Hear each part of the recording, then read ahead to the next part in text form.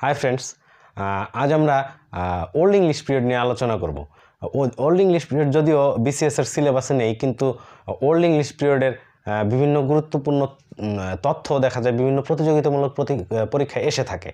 যাই হোক old English period মূলত শুরু হয় চারশো পঞ্চাশ থেকে এবং শেষ হয় এক হাজার ছেষট্টি সালে।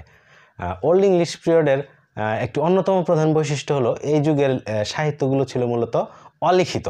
এবং এই যুগের সাহি- সাহিত্যগুলোর অনেক সাহিত্যিকের সাহিত্যিকের নাম আমরা জানি না বা অজানা আজও অজানা রয়ে গেছে। যাই হোক, যেমন এই যুগের প্রথম সাহিত্য অর্থাৎ যেটিকে ধরা হয় ইংরেজি সাহিত্যের আদি নিদর্শন হ্যাঁ বা first monument in English literature, সেটি হলো বেউলফ এটি একটি এপিক পয়েম। এই এই এপিক পয়েমের সাহিত্যিকের নামও কিন্তু অজানা। আচ্ছা যাই হোক। দ্বিতীয়ত হচ্ছে important poems of old English period অর্থাৎ ওল্ড ইংলিশ পিরিয়ডে কিছু গুরুত্বপূর্ণ পয়েম হচ্ছে the husband's message the wife's complaint the seafarer the ruin the wanderer ইত্যাদি। আচ্ছা এবার আসা যাক points of old English period old English পিরিয়ডের কিছু গুরুত্বপূর্ণ পয়েন্ট নিয়ে এবার আমরা আলোচনা করব। ওল্ড ইংলিশ পিরিয়ডের ফার্স্ট নোন পয়েট হচ্ছে হলো গিয়ে কেডমন অর্থাৎ যেহেতু আমরা বেউলফ এ- ইংরেজি সাহিত্যের আদি নিদর্শন এবং এর হচ্ছে লেখকের নাম বা এর সাহিত্যিকের নাম কে রচনা করছেন আমরা জানি না বা অজানা, সেজন্য কেডমনকে ধরা হয় ইংরেজি সাহিত্যের ফার্স্ট নোন পয়েট হ্যাঁ কেডমনকে বলা হয় the first known poet in English literature আচ্ছা কেডমনের হচ্ছে কিছু গুরুত্বপূর্ণ সাহিত্যকর্ম হচ্ছে প্যারাফ্রেজ, জেনেসিস, এক্সোডাস ইত্যাদি।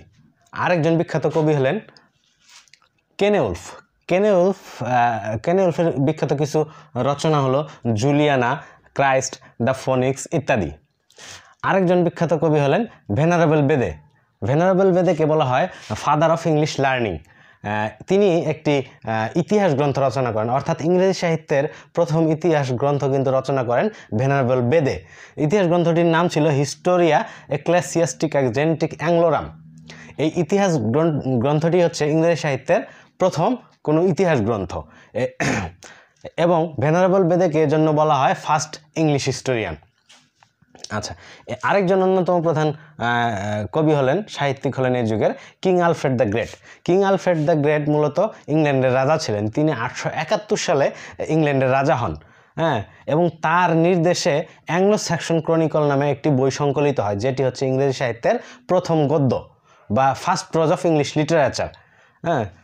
এজন্য কিং আলফ্রেড দ্য গ্রেটকে বলা হয় ফাউন্ডার অফ ইংলিশ প্রোজ আচ্ছা এই এখানে একটা জিনিস মনে রাখা খুব দরকার, সেটা হচ্ছে father of English prose prose নিয়ে এই কথাটি। সেটা হচ্ছে, ইংরেজি সাহিত্যের ফাদার অফ ইংলিশ প্রোজ মূলত তিনজন রয়েছেন। প্রাচীন যুগের হলেন কিং আলফ্রেড দ্য গ্রেট মধ্যযুগের হলেন জন ওয়াইক্লিফ এবং এলিজাবেথন যুগের হলেন ফ্রান্সিস বেকন। আমরা পরীক্ষায় যদি এই তিনটা অপশনই থাকে, তাহলে আমাদেরকে কিন্তু কিং আলফ্রেড দ্য গ্রেট দাগাতে হবে। অর্থাৎ প্রাচীন যুগ, মধ্যযুগ এলিজাবেথান যুগ এটা দেখে স্টেপ বাই স্টেপ আপনাদেরকে চিন্তা করে দাগাতে হবে। অর্থাৎ, এই তিনটাই যদি থাকে, তাহলে কিং আলফ্রেড দ্য গ্রেট হবে। এই এই দুইটা থাকলে হচ্ছে জন ওয়াইক্লিফ হবে। যদি এই প্রাচীন যুগ এবং মধ্যযুগের একটা নামও না থাকে, তাহলে ফ্রান্সিস বেকন হবে।